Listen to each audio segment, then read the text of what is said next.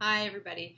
Uh, it's Dr. Alicia here from She Found Health. I just wanted to come on at the end of my clinic day today and do a pretty quick update on the coronavirus, where we are, what do we know, uh, and I would like to talk a little bit about social distancing, about how it can affect pregnancy, breastfeeding, and newborn babies.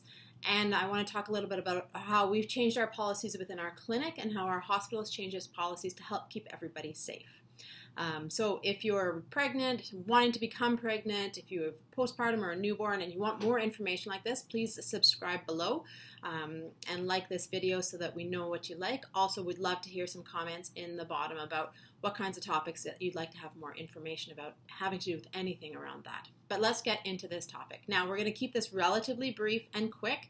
I'm going to attach some blog posts down below that has more detailed information, so check those out if you're interested. So, first thing, coronavirus. What do we know about coronavirus? So it's a virus. Um, the one that we're talking about specifically is called COVID 19, and it hopped from animal to human back in January, late December, early January, it seems like, in Wuhan, China. Since then, it has spread hugely. Uh, earlier today, we're talking about 175 to 180,000 people affected, diagnosed with this disease, and over 6,000 deaths um, to date. Now, these numbers aren't necessarily real because we haven't been swabbing everybody with an influenza like illness. So the symptoms we're talking about is cough, runny nose, um, fevers, headaches, diarrhea, muscle aches or myalgias is what we call them. So a lot of people who get mild symptoms of those aren't being swabbed or tested. One, we don't have the resources to do it, but it also presents like a common cold sometimes. So our numbers are actually probably significantly higher than we think. Um, so that's the basics of coronavirus. In Canada, we have over 300 cases and over three deaths right now, and it's I think it's just beginning. So there's a lot of work that we can do in the community to help slow the spread, decrease the spread of coronavirus, and that's what we're going to talk about next. So, social distancing. This is a huge buzzword on social media right now. And essentially, it's all about separating yourself from other people to decrease the risk of you potentially transmitting something to them or them potentially transmitting something to you. So the less people we have in contact with, the less chance that we have of spreading it in between ourselves. Um, and the recommendation is at least six feet or two meters between us. So we know that this is spread by droplets. So if I were to cough and it spreads out to you, if it hits you in your mucous membranes, which are eyes, nose, mouth, that's how we transmit the virus. The other way that it's commonly spread is from surfaces. So if someone who were to sick, cough in their mouth, touch a surface, and then I were to come along, touch a surface, and then scratch my nose, scratch my eye, I can get it that way. And we think the coronavirus or COVID 19 can actually live on a surface for two days. So this is a, a significant issue. Um, so, how can we do a better job of social distancing? So, let's talk about first of all at work all of your employers should be coming up with great policies so you can work at home. Do as much as possible from home. Any meetings that happen to happen need to happen. That can be done on the phone. That can be done through video conferencing. Um, you can get all kinds of work done at home for the most case. Any meetings in person that don't need to happen can be deferred until all of this passes. And on the rare occasion that you need a meeting in person, sit at the opposite end of the room. No shaking hands no sharing materials, just be very cautious to stay well away from each other. Um, another thing that workplaces can implement if people do need to go at work is having frequent hand washing breaks, having hand sanitizer, if you can get it, available for hand washing. And remember, that's 20 seconds of hand washing in between all of the cracks all over, lower wrists, everywhere that you're going to touch on a regular basis. You want to make sure you're using soap and water to do that. And that is great. If you don't have access to soap and water, if you're out and about, then having hand sanitizer and using that is effective as well. The other thing that we can do is frequently wiping down surfaces with disinfectant spray. So things like Lysol wipes are fine, or a good cleaning spray. You can even dilute down bleach, and you can find all kinds of remedies online about what you need to do for that. So wiping that down and, and um, cleaning it off frequently during the day if people have to be in a workplace. Um, so that's the big thing about work. And certainly, if you are having any symptoms, cold like symptoms, you need to be self isolating so you don't go to work. And if your employers ask you for a sick note, you can respectfully tell them that your physician is a wee bit busy right now, and then in maybe a few months they might be able to get to it. But if you're feeling ill, you need to stay home and not spread that, whatever virus it is, to other people. Um, so, in terms of home stuff, how can we help decrease the risk at home and improve our social distancing? Well, only associating with your close family members. So, not going to birthday parties, not going to the rec centers, not um, getting together at a bar or going out to dinner with each other. During this time, really sticking close to home. If you have a few friends you want to invite over for a dinner party, making sure that they're well and they're not having symptoms, then have them open over have a good time, keep your space amongst you, but try not to go out into places that have lots of people around. Um, this is really tough with kids, and of course, you can get outside, go for walks, go for bike rides, go to the park and play, have a good time. That's totally fine to do, um, but just avoiding big places. So if you can take your kids out of daycare or school at this point, that's a great way of social distancing because those kids are so close together and they're just in each other's faces all the time, spreading their germs about.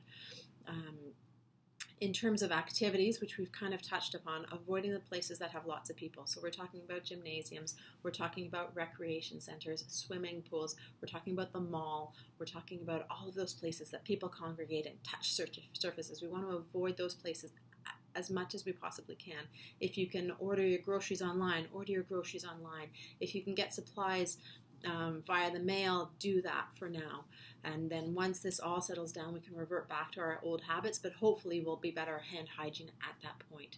Um, in terms of travel is the other one. So travel around the city, driving your car, riding a bicycle, walking, those are all fine to do. Avoiding public transit if you can. Now it's really tough for some people, so if you're not able to avoid public transit and you can shift to a slower time of the day to use it, that's great. If you can coordinate with a colleague or a friend about carpooling or ride sharing, that's another great option because there's just less people and you can make sure you're both healthy when you're doing that. Um, but that's that is going to be a, a tough one for some people who rely on bus systems or subways to get around, especially if they have to get into work or get to appointments.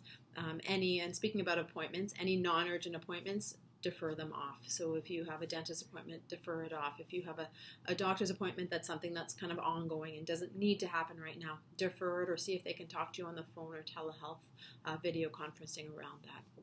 Just avoiding going to any any places that there's lots of people at. Um, so the third topic we wanted to talk about was pregnancy, breastfeeding, and newborn issues with the COVID-19. So currently, all the information we have does not make it seem that women who are pregnant have an increased risk of getting COVID 19 or increased risk of having bad outcomes from COVID 19. So, the highest risk population for bad outcomes we know are the elderly or those with comorbid diseases. So, comorbid diseases are things like high blood pressure, diabetes. Um, immune compromise due to chemotherapy or medications that you're on to control diseases. So, those people have a higher risk of contracting and having bad outcomes from coronavirus or COVID 19. Currently, um, women who are pregnant or who have recently given birth or newborns don't seem to have any major increased risk over the baseline of their age. There have to date been no deaths in children under the age of 10, which is very reassuring, including newborns, and there have been a few newborns who have contracted this. So same thing applies. If you're having, if you're pregnant, you're having mild to moderate symptoms, stay at home, self isolate, make sure you're doing well, make sure baby is moving. Um, if you're having symptoms you're worried about, call your care provider or call the hospital labor delivery room. Don't just go in. Warn them that you're coming because we can set up an isolated area to help decrease the risk of you giving it to other people, both healthcare workers but other patients as well. Because remember, if healthcare workers get it, then we have to self isolate and then we can't provide care to other people, including you. So just being very cautious about um, when you're entering healthcare places, making sure that people are well warned so we can take precautions to help uh, protect both you and other people. If you have a newborn baby or you're breastfeeding and you're getting symptoms, what we'd like you to do is work on your hand hygiene, so making sure you're washing your hands before you're touching your baby. And you can wear a mask if you're breastfeeding or if you're around your baby, and that will help decrease the risk. We still want you breastfeeding and we still want your skin to skin because you create immunoglobulins that you pass on to your baby, and that's very important in helping to fight diseases. So continue to do that, just making precautions that you're not going to be coughing on your baby and making sure your hand hygiene is, is excellent. So the last thing that I want to kind of touch base on is policies around um, clinics and hospital. So, our clinic, we have a large maternity population, and so part of our rule is to protect that population. So, we've created a lot of um, tele options, so phone appointments or video appointments for people who need to talk to us, get prescription renewals, uh, talk about their need, talk about other things, or screen for viral illnesses. So, people who are feeling unwell and just need to talk and get some advice. We've created a lot of appointments for that. Uh, for our pregnant women, uh, we're trying to space out their appointments or talk to them on the phone in between appointments to make sure that they're still feeling healthy and well. Um, and then we'll get them in for certain appointments that we need to monitor their blood pressure and baby's heart rate. Um, for our newborn appointments as well, we need to make, make sure baby is gaining weight appropriately. So we're trying to space out appointments as much as we can, but we also want to make sure that the babies are safe. We're also offering appointments in between to chat with parents about any concerns or issues that they might have. Um, in terms of hospital policies, and this is going to be a tough one for a lot of families because birth is a really joyous and exciting time, but we also need to keep ourselves safe and we need to keep the people around us safe. So, our hospital in Victoria, Victoria General Hospital, has implemented a few policies to help to do that, to keep our population safe. So, number one, only one support person during delivery. Um, and if this person is sick, they cannot come on the ward. So make sure you have your support person lined up. Do your best to keep them healthy, but have a backup in place as well for that. And that includes doulas and friends. Only one person can be with you during that um, during that labor and delivery. Same thing applies on the mother babe or the postpartum unit. There's only one person who can be your support person, and that's the same person the whole time you're there. And if they're sick, they're going to be asked to leave. So making sure that uh, we have a healthy healthy partner as much as possible to help support us during that time. The other thing that we're not able to use on labor delivery is the nitrous oxide or the laughing gas, and that's the, the gas that you can breathe in that provides some pain relief. And the reason is that because we think that that might aerosolize or create um, more infectiousness with the COVID 19. So, because we want to decrease that risk for everybody involved, we're not going to allow women to use that until this is passed. So, we still have the other pain management options, um, including showers and exercise balls, um, medications that we can give you by the intravenous or um, by your muscles or epidurals. Those are all still fine, but we're trying to limit the use of the nitrous oxide or that laughing gas medication. Um, in terms of going home, we're going to try to decrease people's stay as much as we can for, but we want to for safety reasons. Um, we want to keep people healthy, but we want to make sure they're safe before we discharge them. So that'll be on a case by case discussion with your healthcare provider. Great. So that's COVID 19 in a nutshell. Very condensed. There's lots of more information out there. A great site to go to is the bccdc.ca, and I will link that below. So check that out. That's got all the up to date information on screening, how to take care of yourself, um, social isolation, self quarantine, all of that information. Um, if you found this topic helpful, please subscribe below. We're going to start in April having regular content every Wednesday morning coming out, uh, including blog posts, YouTube videos. You can check out our website at www.shefoundhealth.ca. So everybody get out there, wash your hands, socially distance, and stay safe.